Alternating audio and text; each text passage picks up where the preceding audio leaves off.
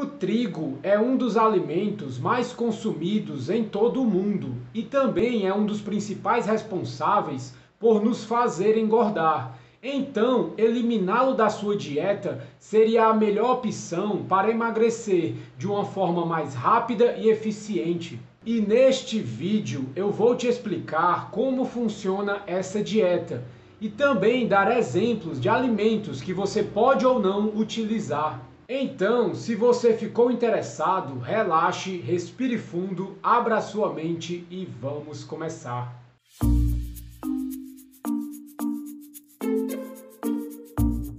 Opa, tudo bem? Caso você não me conheça ainda, eu me chamo Bruno Shoa, eu sou nutricionista e também um estudante de ciência nutricional. Eu leio muitos livros e também muitos artigos científicos para poder te trazer o que há de mais atual no campo da alimentação e nutrição hoje em dia para a sua saúde, emagrecimento e estilo de vida.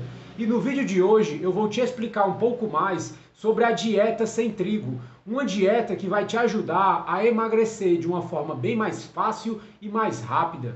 Mas antes que você esqueça, já vai deixando seu like nesse vídeo, que já me motiva cada vez mais a trazer ainda mais conteúdos para você e também me ajuda muito a levar essa informação ao máximo de pessoas possíveis. E o primeiro ponto é que realmente o trigo está entre os piores dos carboidratos, lado a lado com o açúcar.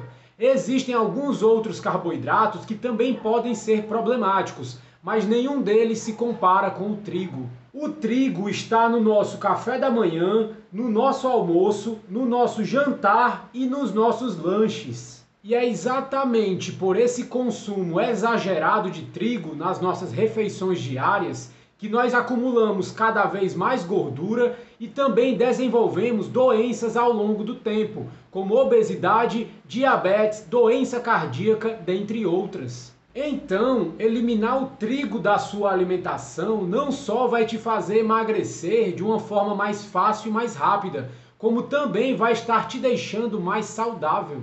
E caso você queira otimizar ainda mais o seu emagrecimento, a sua perda de gordura, além do trigo, você também pode retirar da sua dieta alguns outros carboidratos que não vão estar te ajudando, como o amido e fubá de milho, que são produtos feitos com farinha de milho, como tacos, tortilhas, salgadinhos de milho, pães de milho e cereais matinais bem como caldos e molhos engrossados com amido de milho. Lanches como batata chips, bolinhos de arroz, pipocas, sobremesas como tortas, bolos, cupcakes, sorvetes, picolés e outras sobremesas doces. Todas contêm açúcar em excesso. Arroz de todos os tipos, do branco ao integral. Porções pequenas podem até ser boas, mas grandes porções aumentam a taxa de glicose no sangue, o que não ajuda no emagrecimento. Batatas de todos os tipos, batata inglesa, rosada, batata doce e inhame, provocam efeitos semelhantes ao do arroz. Leguminosas, como feijão preto, feijão manteiga, feijão mulatinho, feijão de lima, grão de bico, lentilha, como as batatas e o arroz, eles têm potencial para aumentar a glicose no sangue. Alimentos sem glúten, mesmo que o amido de milho, o amido de arroz, a fécula de batata e a tapioca não tenham glúten igual ao trigo, eles também aumentam a glicose no nosso sangue e também devem ser evitados. Sucos de frutas e refrigerantes. Mesmo que sejam naturais, os sucos de frutas não são assim tão bons para você. A carga de açúcar é simplesmente muito grande se você está querendo emagrecer. E os refrigerantes são ainda piores, incrivelmente prejudiciais à saúde, em grande parte por causa dos açúcares acrescentados, do xarope de milho rico em frutose, dos corantes e do ataque excessivamente ácido do ácido carbônico gerado pela gaseificação. Frutas secas, como uvas passas, figos, ameixa e damascos desidratados. e qualquer outro cereal além do trigo, como a quinoa, o trigo sarraceno, o painço e possivelmente a aveia. Esses cereais são melhores que o trigo, mas ainda aumentam a glicose no nosso sangue, então também devem ser evitados. E para substituir esses carboidratos que você vai retirar da sua dieta, você tem que adicionar gorduras naturais, gorduras saudáveis, como por exemplo a manteiga, o óleo de coco, o azeite de oliva e a gordura de porco. O nosso corpo consegue pegar energia dos carboidratos e também das gorduras. E como você vai diminuir os carboidratos da sua alimentação, você tem que aumentar o consumo de gorduras boas, gorduras naturais, porque essas gorduras vão te deixar mais saciado e vão te fornecer energia para continuar o seu dia normalmente. E só um detalhe é que você tem que evitar gorduras industrializadas, que são tóxicas para o nosso corpo, como margarinas e óleos vegetais, como óleo de soja, óleo de milho, óleo de girassol, dentre outros. Mas antes de mais nada, só te lembrando que você também pode estar me seguindo nas minhas redes sociais. Lá eu dou dicas de como você pode emagrecer de uma forma mais fácil e mais rápida e assim alcançar a sua melhor versão. E agora nós vamos para os alimentos que você pode comer, e o primeiro deles vão ser legumes e verduras. Esses alimentos são ricos em fibras e nutrientes e podem ser utilizados sem grandes problemas. Antes da descoberta da agricultura, os nossos antepassados eram caçadores e coletores. Caçavam animais nas regiões onde eles andavam e colhiam frutas, legumes e verduras que eles encontravam pelo caminho. Então, é esse tipo de alimentação que o nosso corpo está adaptado a consumir durante toda a evolução da nossa espécie berinjela fatiada e assada com azeite de oliva e cogumelos, uma salada mista feita de rodelas de tomate, manjericão fresco e azeite de oliva, e até mesmo um nabo branco japonês com gengibre em conserva. E se você não gosta de vegetais, tente procurar algum tipo de vegetal que você nunca comeu. Você não pode gostar de algo que nunca provou.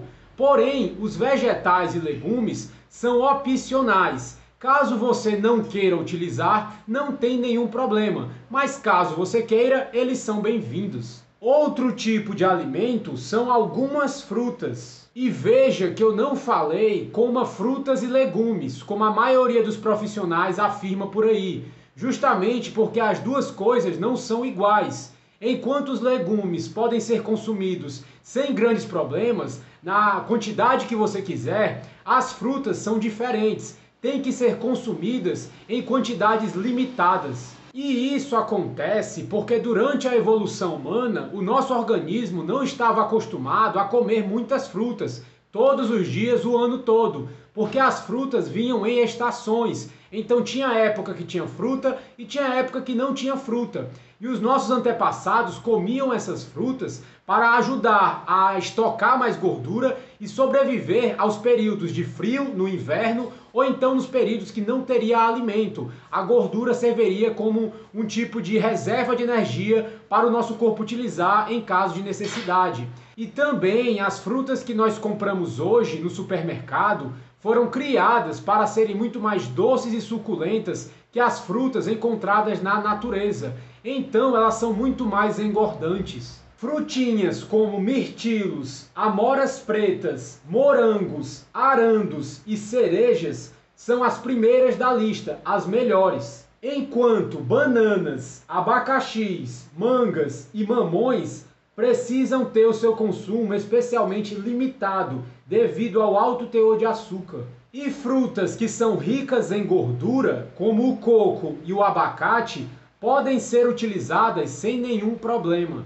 Castanhas e sementes cruas, como amêndoas, nozes, pistaches, avelãs, castanhas do Pará e castanhas de caju, são maravilhosas e também podem entrar na alimentação. E só um detalhe é que essas castanhas e sementes devem ser consumidas ao natural. Não podem ser tostadas no mel, no óleo de soja ou ter sofrido qualquer outro processo. Quanto mais natural, melhor. E só um detalhe é que os amendoins não são castanhas, e sim leguminosas. E dessa forma também não é indicado se você está querendo emagrecer. E outro tipo de alimento que não só pode, mas deve entrar na sua alimentação são carnes e ovos. Carne de vaca, carne de porco, peixe, frango e ovos são extremamente nutritivos e você deve utilizá-los. O medo de gordura nos últimos 40 anos fez com que muitas pessoas se afastassem desse tipo de alimento.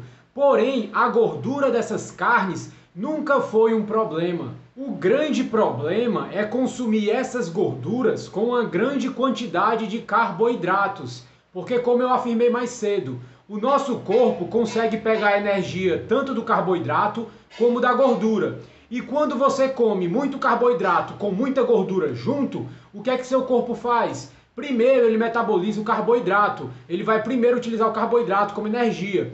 E a gordura que você consumiu junto, que poderia ser utilizada como energia, ele não vai utilizar, porque já usou o carboidrato. Então essa gordura vai ser toda armazenada como mais gordura no seu corpo. Mas o grande problema não é a gordura, é porque você comeu ela junto com os carboidratos. E na realidade, novos estudos já mostram que a gordura saturada, que é muito encontrada em alimentos de origem animal, como as carnes, não está relacionada com ataques cardíacos e nem derrames cerebrais. E você deve comer o que o seu corpo lhe diz para comer. Essa alimentação vai regular os indicadores de apetite e saciedade do seu organismo. Então você deve consumir os alimentos até ficar bem, saciado, para continuar o seu dia normalmente. Agora, é claro, não é porque não vai ter quantidade específica que você vai comer até passar mal, porque esse não é o ponto. Você vai comer até ficar bem, saciado, uma quantidade que faça sentido para você, para continuar o seu dia normalmente. E outro alimento que você pode utilizar são queijos variados. Queijo coalho, queijo minas, queijo prato, queijo parmesão, entre outros queijos gordos. Só tente evitar queijos mais industrializados, como por exemplo o queijo mussarela ou o queijo cheddar. As azeitonas e os legumes em conserva, como o picles, por exemplo, também podem ser utilizados para dar mais variedade à sua alimentação. E algumas pessoas têm medo de ficar com uma deficiência de nutrientes se retirar esses carboidratos da dieta. Porém, se você retirar os carboidratos e substituir por esses alimentos que eu citei, você vai até mesmo aumentar o seu consumo de nutrientes. E nós também temos que entender que os alimentos feitos de trigo basicamente não têm nenhum nutriente. É exatamente por isso que eles têm que ser enriquecidos.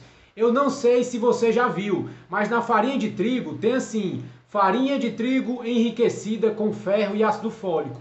Por que essa farinha de trigo é enriquecida com ferro e ácido fólico? Porque para poder fazer essa farinha, esse, esse pó branco, eles processam tanto o trigo que tudo que tinha de nutriente ali, que já não era muita coisa, foi jogado fora. Virou um pó branco cheio de caloria com nada de nutriente. Aí o que, é que a indústria faz? Adiciona ferro e ácido fólico por fora para dizer que tem alguma coisa de nutriente e poder vender mais. E ainda usa a palavra enriquecido, como se fosse alguma coisa a mais, mais benéfico. Puro marketing para poder vender. Mas basicamente aquilo ali é um pó branco, cheio de caloria, com nada de nutriente. Que não vai nem te ajudar a ficar mais saudável e nem te ajudar a emagrecer. É um tipo de alimento totalmente descartável. E outra coisa importante é que no planeta Terra só existem três tipos de macronutrientes, que são eles proteínas, gorduras e carboidratos. Qualquer tipo de alimento que você possa imaginar vai ser um desses três ou um pouco dos três. E quando você come alguma proteína, você vai consumir proteínas essenciais, que são os aminoácidos essenciais. E quando você come alguma gordura, você vai consumir os ácidos graxos essenciais, que são as gorduras essenciais. E por que é que são essenciais? Porque o nosso corpo não consegue produzi-los e nós temos que adquirir eles através da alimentação. Porém, não existe na Terra nenhum tipo de carboidrato essencial. Carboidrato não é algo essencial para a nossa vida. O pouco de carboidrato que o nosso corpo precisa, ele mesmo pode produzir através do nosso fígado. O fígado tem a capacidade de produzir o próprio carboidrato caso seja necessário. Então, se você eliminar totalmente o carboidrato da sua alimentação, mas aumentar a quantidade de proteínas e gorduras, o seu corpo vai funcionar normalmente, quiçá vai funcionar ainda melhor. Com relação às bebidas, a água deveria ser o principal líquido a ser ingerido. Sucos que contenham 100% de fruta podem ser consumidos em pequenas quantidades, mas se você optar por não consumir, é ainda melhor. Mas bebidas industrializadas à base de frutas e refrigerantes são uma péssima ideia. O café e também os chás podem ser utilizados, mas sem serem adoçados. E em relação à bebida alcoólica, a única que entra é o vinho tinto. A cerveja, por outro lado, é na maioria dos casos obtida através da fermentação do trigo e deve ser decididamente evitada ou reduzida ao mínimo. E as cervejas também têm alto teor de carboidratos, especialmente as mais fortes e as pretas. E a nossa sociedade realmente se tornou o mundo dos grãos integrais. Produtos de trigo enchendo as prateleiras em todas as lojas de conveniência, cafeterias, restaurantes e supermercados. E às vezes você vai ter que procurar muito entre tudo isso para encontrar o que você precisa. Mas assim como dormir bem e fazer atividade física, retirar o trigo da sua alimentação pode ser encarado como uma necessidade básica para você ter boa forma, saúde e longevidade. Uma vida sem trigo pode ser muito boa e muito gratificante, além de ser bem mais saudável. E é claro que você ainda vai poder comer alimentos feitos de trigo de vez em quando, o grande problema é você utilizá-los todos os dias. E o caso de sucesso de hoje é um dos meus pacientes, o Denis. Ele conseguiu perder 9,7 quilos em apenas 40 dias. E é isso que acontece quando você utiliza uma alimentação de qualidade focada no seu emagrecimento. Bem, pessoal, mas por enquanto é isso. Eu espero que esse vídeo tenha te ajudado de alguma forma tenha feito você conseguir melhorar pelo menos um pouco a sua alimentação. Mas eu vou ficando por aqui. A gente se vê no próximo vídeo. Um abraço e tchau.